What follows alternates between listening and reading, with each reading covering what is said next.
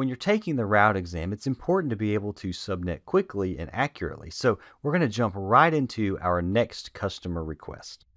The customer asks us to efficiently subnet the following networks to accommodate the given number of hosts.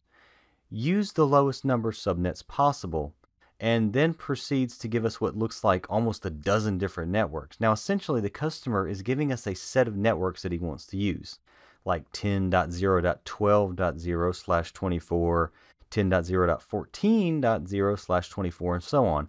But the catch is that he wants us to subnet each of these networks efficiently so that each subnet can accommodate a certain maximum number of hosts.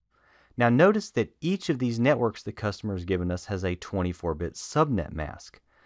The term subnetting implies that we're going to need to extend that mask to the right. So when we subnet each of these networks, we're going to end up with a subnet mask greater than 24 bits in length.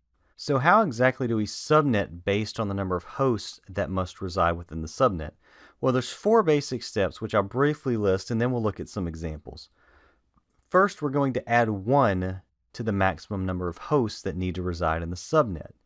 Next, we'll convert that result to binary and then count the number of leftmost or high order zeros. And then we'll add that number to the original mask to get the final result.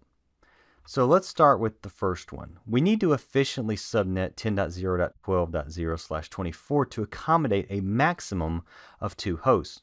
Now this network as is can already accommodate two hosts, can accommodate more than that, but we need to make efficient use of IP space so the customer is asking us to subnet it to conserve as much IP space as possible. So the first thing we're going to do is add 1 to the number of hosts, which in this case is 2. 2 plus 1, of course, is 3.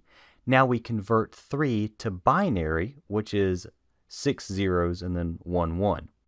Now count the number of zeros to the left of the leftmost one. Well, I just said what it was. It's 6 zeros. So we add 6 to the number of bits in the original network mask, which was 24. And that gives us the new subnet mask, which is slash 30. The subnet is 10.0.12.0 slash 30.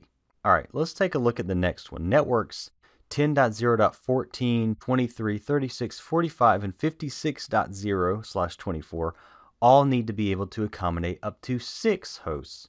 Now, this is five different networks here, but we only have to calculate the new subnet mask once since all of these networks need to be able to hold up to a maximum of six hosts each. So let's try this. We'll add one to the number of hosts, which is six, and that gives us seven. Now we write 7 in binary, which is 0, 0, 0, 0, 0, 1, 1, 1. And we count the number of zeros to the left of the leftmost one. That gives us 5. So we add 5 to the original number of bits, 24, and the answer is a 29-bit subnet mask. And that's going to be the subnet mask for all of these networks where we need to accommodate a maximum of 6 hosts. Finally, one more example. Let's try this with the 14 host for the 10.0.18, 27, and 34.0 slash 24 networks. We'll add 1 to the number of hosts to get 15. We convert 15 to binary and count the number of zeros to the left of the leftmost one. There are 4, so we add 4 to the number 24 and we get 28, a 28-bit subnet mask.